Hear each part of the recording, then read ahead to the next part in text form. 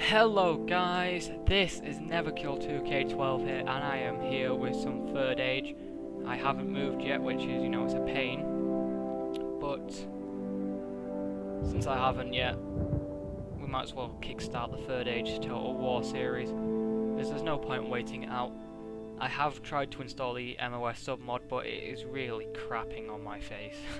it just doesn't want to work. And I tried recording this just you know, two seconds ago and it came up with a fatal graphics error. So that was a brilliant start. But hopefully they won't, they won't be too common and we'll be saving a hell of a lot. But anyway, let's have a look. This is going to be the faction vote. If I can get if I can get the submod working, we will be using that as well. Doesn't look likely though. But anyway, this these are the factions to choose from. We have Gondor, we have Rohan, the Horse Lords. We have Dale. We have the Short Dwarves. We have the Three Peoples of Eriador. The High Elves.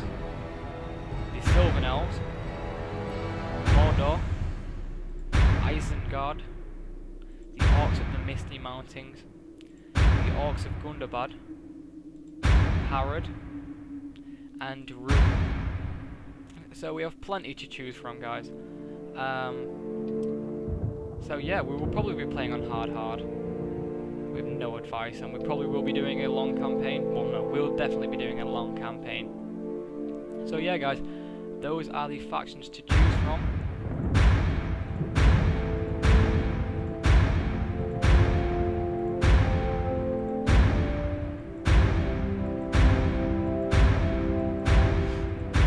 Yeah, it should be pretty fun.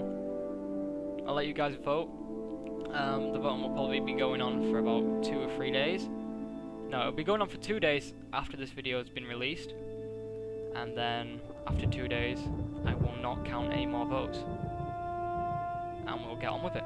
So remember guys, leave a vote in the comments section. Let me know what you want, who, who you want me to play. And hopefully your faction will win. I'll see you guys somewhere that hopefully will not be here. Peace.